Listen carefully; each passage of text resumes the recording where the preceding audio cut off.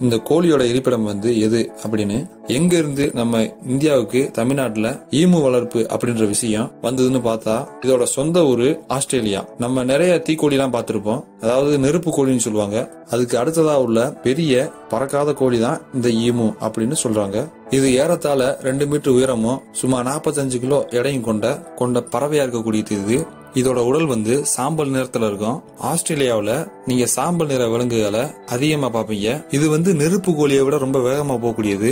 இதோட வேகம் என்னன்னு கேட்டீங்கன்னா இது மணிக்கு ஐம்பது கிலோமீட்டர் வேகத்துல இதால ஓட முடியும். இந்த வகை கோழி தாவகளையும் பூச்சிகளையும் சாப்பிடக்கூடியது. இது இனத்துல இருந்த மத்த பறவைகள் எல்லாமே போயிட்டு இதுதான் வந்து இந்த இனத்துல இருக்கிற கடைசி உறுப்பினர். இந்த ஃபேமிலியில அப்படின்னு சொல்றாங்க. அப்படி இந்த கோழி எதோட ஃபேமிலின்னு பார்த்தா ட்ரை மயர்ஸ் அப்படின்னு சொல்லக்கூடிய ஒரு இனம். அந்த இனத்தோட லாஸ்ட் மெம்பர் தான் இந்த ஈமு. சொல்லப்படுற கோழி வகைகள். ஹைட் அப்படின்னு வச்சு கம்பேர் பண்ணி பாத்தீங்கன்னா முக்கியமா பறவை வகையில வந்து உயரத்துல பார்க்கும்போது உலகத்திலே ரெண்டாவது இன்னைக்கு வரைக்கும் நிலைச்சிருக்கிற பறவையும் இதுதான் அப்படின்னு சொல்லியிருக்காங்க. ஃபர்ஸ்ட் இடத்துல பறக்க முடியாத தீக்கோழி இருக்கு. ஈமுவோட இன்னைக்கு வரைக்கும் நிலைத்திருக்கக்கூடிய மூன்று உபயினங்கள் அப்படின்னு பார்த்தா ஆஸ்திரேலியாவில் இருக்கிற ஈமு கோழிகள் ஆஸ்திரேலியாவோட பெரிய நிலப்பரப்புல பெரும்பாலான பகுதிகளில் சாதாரணமா இந்த வகை கோழிகள் சுத்திட்டு இருக்கு. இது பெரும்பாலும் மக்கள் இருக்கிற இடத்த விரும்பாது. அதனால மக்கள் தொகை நிறைந்திருக்கிற இட- இடங்கள் அடர்ந்த பகுதிகளை இது தவிர்க்குது. பொதுவா சிங்கம் புலி கரடி இதெல்லாம் பாத்தீங்க அப்படின்னா அதுக்கு ஆகாரம் கிடைக்கலனா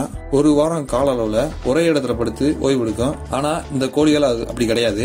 இதுகளுக்கு உணவு வேணும் அப்படின்னா இது எவ்வளவு தூரம் பயணம் செய்யலைனாலும் இது பயணத்தை மேற்கொள்ளும். அந்த அளவுக்கு இது ரொம்ப சுறுசுறுப்பான பறவை. சாப்பாடு அப்படின்னு வந்துருச்சுன்னா எவ்வளவு தூரம் வேணாலும் நடக்க இது தயங்கவே தயங்காது.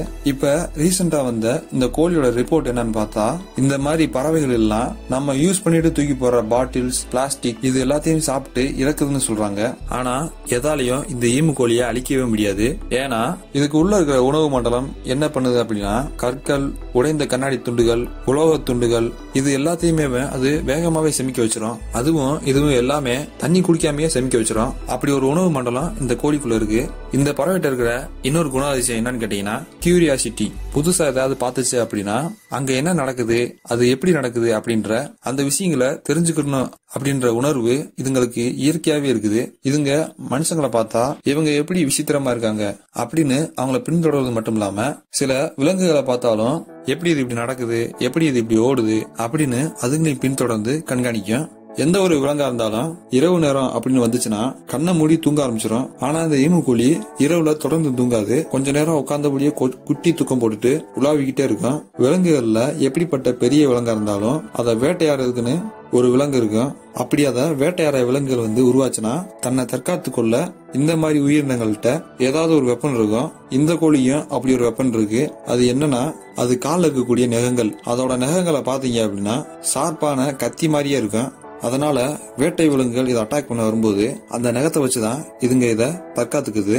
அந்த நகங்கள் வந்து எவ்வளவு ஷார்ப்பு அப்படின்னா இரும்பு கம்பி வேலையவே கிழிச்சு எரியக்கூடியது அதோட நகம். இந்த பறவை வந்து இணைப்பெருக்கம் செய்யணும் அப்படின்னா ஜூன் மாசத்தை வந்து தேர்ந்தெடுக்குது. பெரும்பாலும் ஆண் பறவை பெண் பறவைட்ட இணைப்பெருக்கத்துக்கு வந்துச்சுன்னா முதல்ல மிகப்பெரிய சண்டை ஏற்படும். அதுக்கப்புறம் தான் கூடலே ஏற்படும். அதே மாதிரி தான் இந்த கோழி ஒரு சீசன்ல பல தடவை முட்டைகளை இடும். ஆம்பளை கோழி தான் முட்டையை வந்து அழகாக்கும் இதுங்களோட ப்ரொடக்டர்ஸான காட்டு நாய்கள் அது மட்டும் இல்லாம பெரிய ஓடக்கூடிய விலங்குகள் வந்துச்சுன்னா அதுங்க கிட்ட இருந்து இதுங்க தப்பிக்கிற என்ன பண்ணுனா குதிச்சு குதிச்சு போறதும் அதுங்களை உதைக்கிறதும் இந்த மாதிரியான வேலைகளை செய்யுது. ஆனா கழுகுகள் பருந்துகள் இதுவும் இதோட ப்ரொடக்டர்ஸ் தான். ஆனா அதுகிட்ட இருந்து தப்பிக்க இதனால ஓட மட்டும்தான் முடியும்.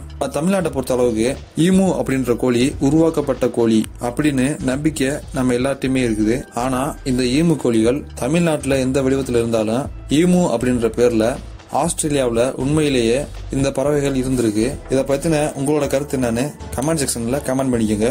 நம்ம சேனலுக்கு வரைக்கும் சப்ஸ்கிரைப் பண்ணாமல் சப்ஸ்கிரைப் பண்ணிக்கோங்க. அப்படி கூட இருக்க பிள்ளைக்கான கிளிக் பண்ணிக்கோங்க. அப்போ தான் நான் போகிற வீடியோ வந்து உங்களுக்கு ஒன்றைக்கு நோட்டிஃபிகேஷனில் வரும்.